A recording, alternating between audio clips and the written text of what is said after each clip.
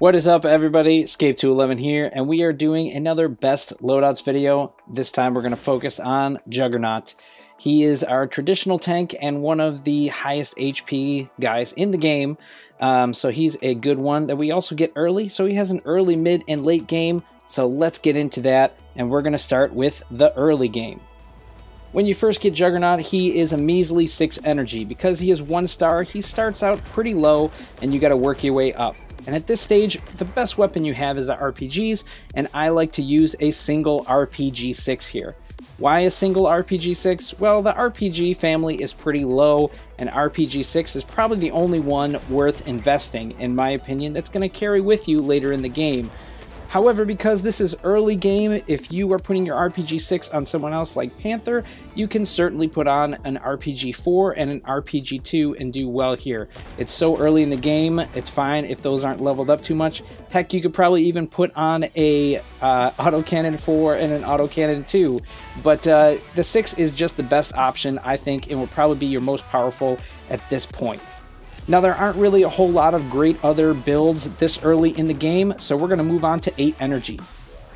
At 8 energy, we're going to stick with the RPGs mostly, and in this case, we're still going to rock that RPG 6, but also add the RPG 2, just because we have the 2 extra energy. And of course, again, you can use dual RPG 4s if that works better for you, because this is still pretty early. But again, I'm just choosing this because for me, this was the strongest thing at the time, and I'm guessing it'll probably be the strongest for most people as well.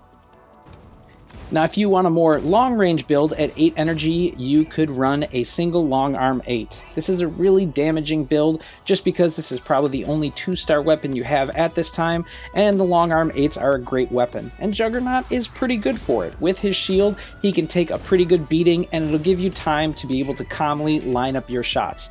Remember, this is a manually aiming weapon, so you're going to have to put in a little bit of time, but this early in the game, when you have a Juggernaut who is beefy and the long arm is going to do great damage, this is a great time to get used to the manual aspect aiming of the game. Long arms should carry with you throughout the game and get you prepared for an endgame weapon like the railgun. So this is definitely a great time to start with it and just get comfortable with that weapon. It's a solid build. So now let's move over to mid game. In mid game, you'll have 12 energy to start with, so we're going to put on dual RPG 6s. Now, of course, you've been running RPGs before on Juggernaut and probably other bots as well, so this should be pretty comfortable space. Not much that needs to be said here. This is just a build that's going to be more damaging than the previous, and uh, it's just a common build people run at this point for Juggernaut. So let's move on to the next build. Now, a less common build on Juggernaut would be the dual Javelin Rack 6. Not because it's bad on Juggernaut, but because you usually use this on other bots, especially lighter bots. Uh, the most common I would see are Panther and Killshot around this time. Why them? Well, because they're better at doing more hit and run style attacks and they need less exposure because they have less health. However, once you start upgrading those and you're not using the Javelin racks on them, Juggernaut can be a great use for those uh, weapons just because he will do well with them and, uh, you know, he'll be able to take a beating from your opponents as well. What's difficult in using this on him is that he is much slower than the other bots that I mentioned, so you do want to be careful in positioning yourself as well as when you're in CPC. You want to be aware of what your team's score is because breaking out Juggernaut in this build, he can be a bit slow. So just be wary of that, especially in those CPC battles. Now another less common build, it would be this long range build of a long arm 10 and a thermal lance 2. It's not that we haven't seen other long range builds on Juggernaut, but when you're using something at 12 energy with either the uh, long arm 8 or the long arm 10, you only have 2 or 4 energy for your side arm. So it, there's not really great options to put on it there. Some people like to do like an RPG um, or a shotgun, but both of those singularly don't have enough punch for me, and I prefer going into the full long range build um, just to let that thermal lance help me a little bit for damage as well as doing the overheat before I hit everybody with the long arm shot. So this is what works best for me, but you can certainly experiment with this kind of long range build at this point in the 12 energy bracket. But now we are going to move over to the 16 energy bracket. And to start with, we're going to do probably one of the most commonly seen builds for Juggernaut at this, and this would be the dual Missile Rack 8.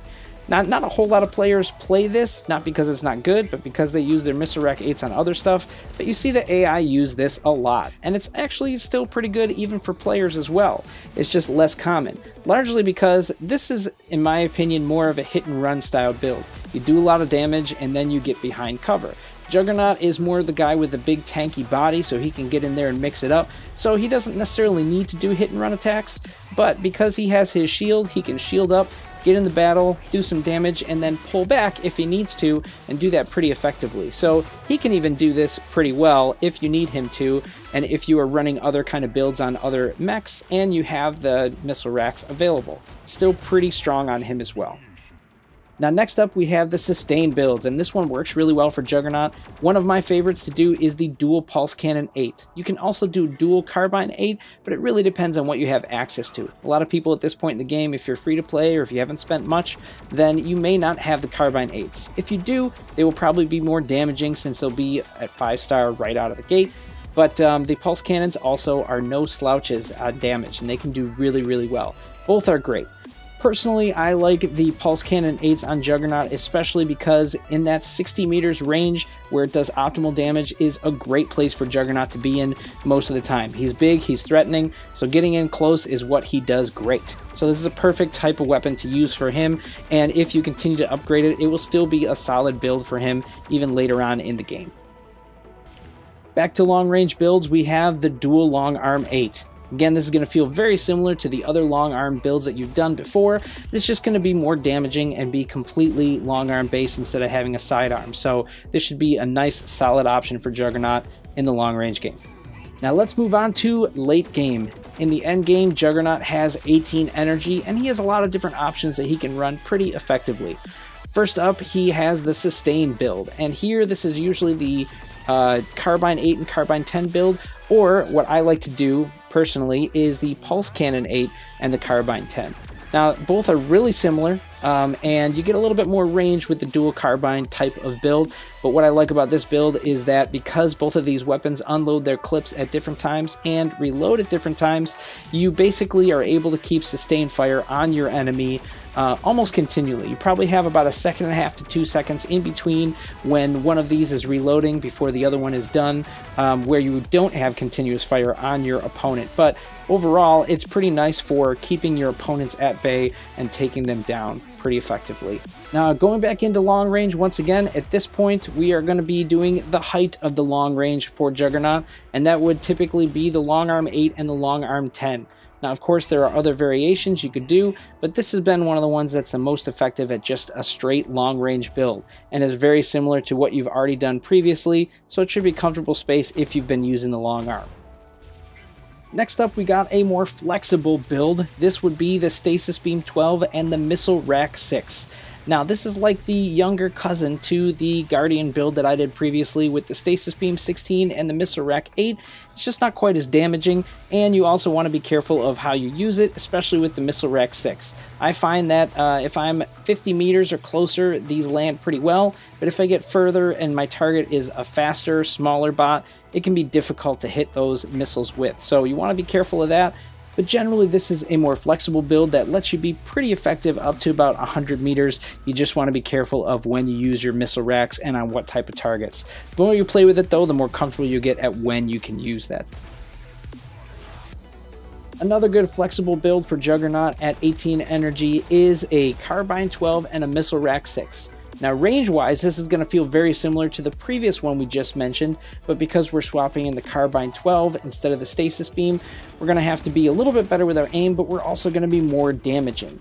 And yeah, this is probably a little bit less budget friendly as well because we're using the Carbine 12, but it is a solid endgame weapon, and we're talking endgame Juggernaut, so if you're able to get this weapon, this is a great build to put on him. It can be very fearsome up close just because you're putting in a lot of damage at 50 meters or less, and if you get even closer and get an optimal range with your carbines, it can be even more deadly. So that's usually where you want to be, but then of course, if you get beyond 50 meters and in that less than 100 meters range, the Carbine 12 can put in good work there.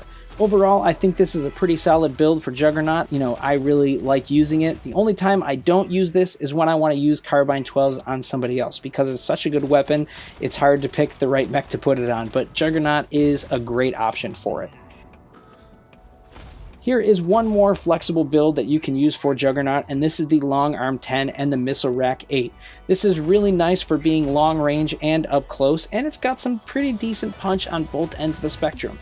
Now, it does sacrifice a little bit on both ends because you're splitting up your weapon usage in most cases, because you're going to be shooting far away with just the long arm and then shooting up close with just the missile racks, but that still means that both of these are pretty solid options and gives you a great range of coverage. And because, like we said, it's on Juggernaut, he's a big beefy bot, he can withstand a little bit of damage in either category and probably come out on top in most encounters that is going to do it for this video, you guys. I hope you found that helpful with Juggernaut. And uh, if you have certain builds that you like for him or others that uh, you feel should have been mentioned, feel free to comment below. But otherwise, we will see you out there on the battlefield.